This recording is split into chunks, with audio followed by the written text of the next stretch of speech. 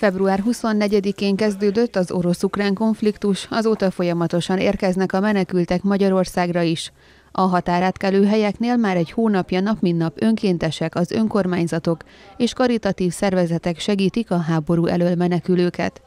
A szomszédországban zajló eseményekre Nyíregyháza is gyorsan reagált, és megalakult a helyi humanitárius csoport. A segélyszervezetekkel mindennapos az egyeztetés, sokszor percről percre változik a helyzet, amire rögtön reagálni kell, mondta Jászai Menyhért alpolgármester, a csoport vezetője. Nyíregyházán rendelkezésre áll jelenleg egy közel 100 fős kapacitás. Itt akár idéglenesen, akár több hétig is el tudnak látni családokat megfelelő körülmények között. Ehhez különböző elektronikai eszközöket vásároltak, de a kommunális szolgáltatásokat is elrendezték számukra, sőt a gyerekeknek még állatkerti látogatást is szerveztek, hogy kicsit ki tudjanak kapcsolódni, tette hozzá az alpolgármester.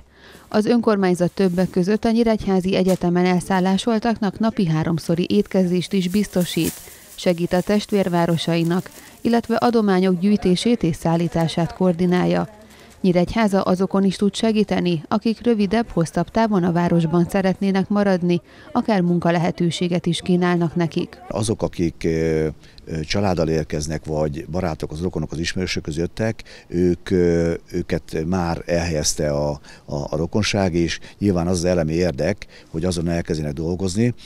Számukra egy jelzőszám az, hogy a gyerekek már megjelentek a mi köznevési intézményeinkbe, óvodákba, iskolákba. Tehát természetesen azért van erre igény, mert akkor a szülő dolgozik. Ami konkrétumot mondhatok a, a munkába állás kapcsolatban, akinek nem tudunk más munkát közvetlenül biztosítani, azt bevonjuk a köz közcélú munkaprogramba a nyírvévén keresztül, tehát erre van egy külön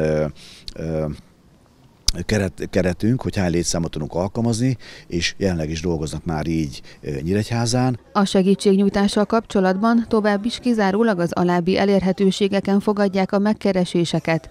Munkaidőben a 42-es körzet 524-585-ös telefonszámon, 024 órában pedig a Periféria Egyesület 42-es körzet 504-618-as telefonszámán, vagy a humánkukacnyíregyháza.hu e-mail címen.